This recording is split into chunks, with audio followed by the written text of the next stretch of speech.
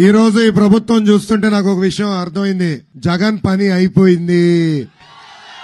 ఇది నేను చెప్తాం కాదు. వైకాపా పార్టీకి చెందిన ఎమ్మెల్యేలు ఎంపీలే చెప్తున్నారు. ఎన్నికల ముందల ఇరవై ఐదు ఇరవై ఐదు ఎంపీలు గెలిపించండి. ఢిల్లీ మెడ వంచి ప్రత్యేక హోదా తీసుకొస్తా అన్నారు. ప్రజలు ముప్పై ఒక్క ఎంపీలు ఇచ్చారు. ఆ ముప్పై ఒక్క ఎంపీలు తీసుకెళ్ళి కేసుల మాఫీ కోసం కేంద్ర ప్రభుత్వానికి తాకట్టు పెట్టిన వ్యక్తి ఈ జగన్. అందుకే ఎంపీల్లో కూడా జగన్ పైన నమ్మకం కోల్పోయారు. మొన్న జగన్ ఢిల్లీకి వెళ్తే ముప్పై ఒక మందిలో కేవలం ఆరుగురే జగన్ వెనక వెళ్ళే పరిస్థితి వచ్చింది. అక్కడ ఢిల్లీలో ఉన్న వైకాపా ఎంపీలు కూడా బాయ్ బాయ్ జగన్ చెప్పే పరిస్థితి మనందరం చూసాం. ఎన్నికల ముందర పెద్ద ఎత్తున ఎమ్మెల్యేలు గెలిపించండి వారంలో సిపిఎస్ రద్దు చేస్తా అన్నాడు. నూట యాభై ఒక్క సీట్లు గెలిచాడు. నాలుగు సంవత్సరాలు పది నెలలైంది. ఆ సిపిఎస్ రద్దు కాదు కదా ఉద్యోగస్తులు మాయం చేసి జీపీఎస్ తీసుకొచ్చాడు. రివర్స్ ఫిట్మెంట్ తీసుకొస్తాడు. ఇది చూసి ఎమ్మెల్యేలు కూడా బాయ్ బాయ్ జగన్ చెప్పే పరిస్థితి ఈ రోజు మనందరం ఆంధ్ర రాష్ట్రంలో చూస్తున్నాం.